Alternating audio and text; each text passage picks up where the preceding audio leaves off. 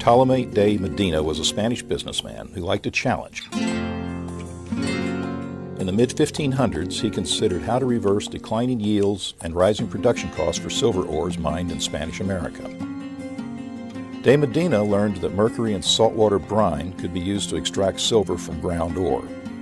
He traveled to Pachuca in New Spain, now Mexico, to test the technique. In his model refinery, silver ores were crushed to a fine slime and then combined with salt, water, copper sulfate, and mercury. The mixture was spread in an outdoor enclosure or patio. Horses driven around the patio further mixed the ingredients, which eventually formed a silver amalgam. The patio process was a success. Silver output boomed as amalgamation replaced smelting as the primary method of silver production in Mexico and Peru. Derivatives of the process were used throughout the 19th century until the cyanidation process was introduced. The Americas produced three fifths of the world's silver until about 1900. Thanks to the innovation provided by Bartolome de Medina's patio process, Spanish American silver production helped fuel the development of extensive trade networks, which were key to developing world commerce linking Europe, Africa, Asia, and the Americas.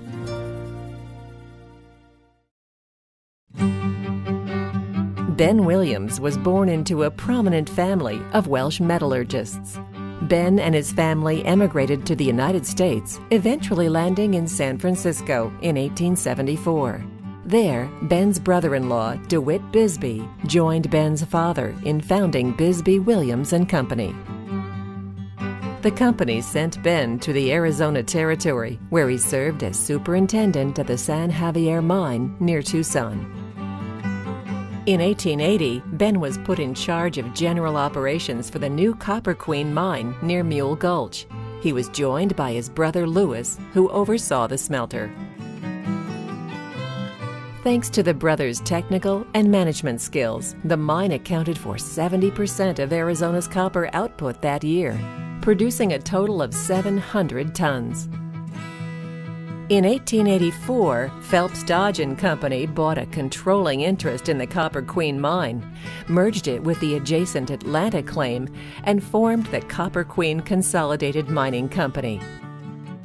Ben Williams, already well regarded by the community, became general manager.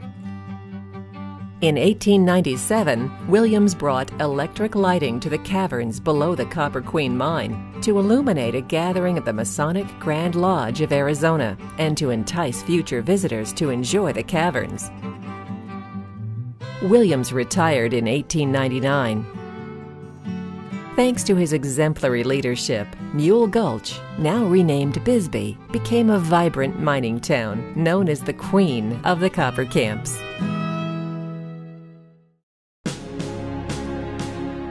Charles Mills graduated from the University of Iowa School of Engineering in 1888. He worked at the Copper Queen mine in Bisbee and other Copper Queen Consolidated Mining Company properties in Arizona. He then became general manager of the Detroit Copper Mining Company at Morenci, Arizona. The Spanish American War broke out in 1898, and Mills signed up as a private in the Rough Riders. After the war's end, he returned to Morenci. In 1912, he put on two hats. As general manager of the Inspiration Consolidated Copper Company in Miami, Arizona, he affirmed block caving as the mining method and put the method's inventor in charge of the mines. Mills also selected flotation as a method of concentration and directed the construction of all mine facilities. At the same time, as general manager of the International Smelting Company in Miami, he oversaw construction of International's smelter. When the United States entered World War I, Mills served as a dollar a year man, helping to oversee aircraft production for the U.S. Army Air Service. After the war, Mills formed the Apache Powder Company, now called Apache Nitrogen Products Incorporated. The company provided a much needed regional source of explosives for southwestern mines. Mills' parallel career in banking began in 1899 he merged smaller local banks to create Valley National Bank, which became the largest bank in Arizona. He served as president of Valley National Bank and the Apache Powder Company until his death in 1929.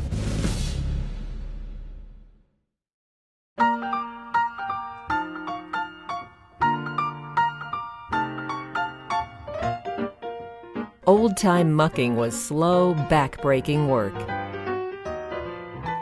In 1931, Burt Royle, a hoistman at the North Lily Mine in Eureka, Utah, designed a mechanical device to do the job.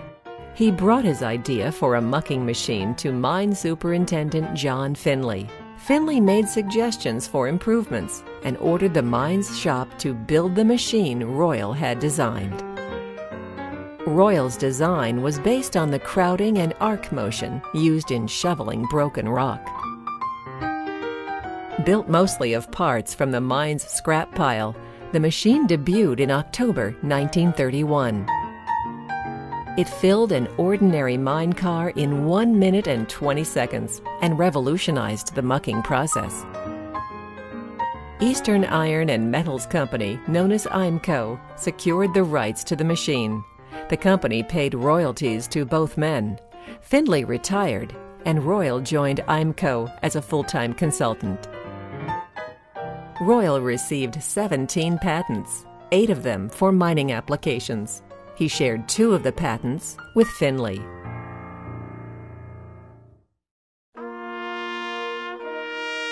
Louis Caryl Graton earned his Bachelor of Science degree from Cornell University in 1900. He studied at Canada's McGill University for two years, then returned to Cornell to work on his PhD. He received the degree in 1930 for his thesis, Hydrothermal Origin of the Rand Gold Deposits. Graton joined the U.S. Geological Survey in 1903 and helped with the restudy of Colorado's Cripple Creek District.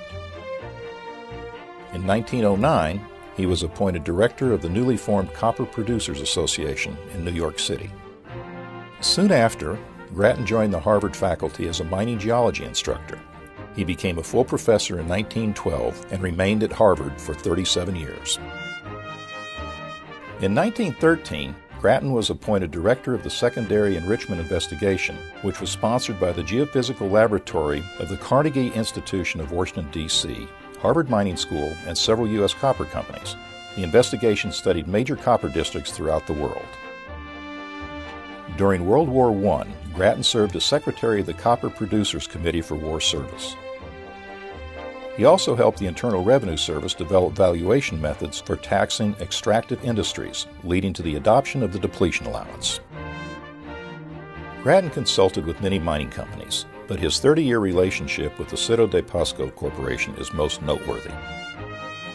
The company's mining properties in Peru were plagued with ventilation and haulage problems. Graton believed a tunnel dug 1,000 feet below the lowest mine level was the answer. The company followed his advice. The Graton Tunnel is still one of the longest mine tunnels in the world. Graton devoted his life to studying ore deposits and fostering the careers of his students. He served as president of the Society of Economic Geologists in 1931 and received the Penrose Gold Medal in 1950.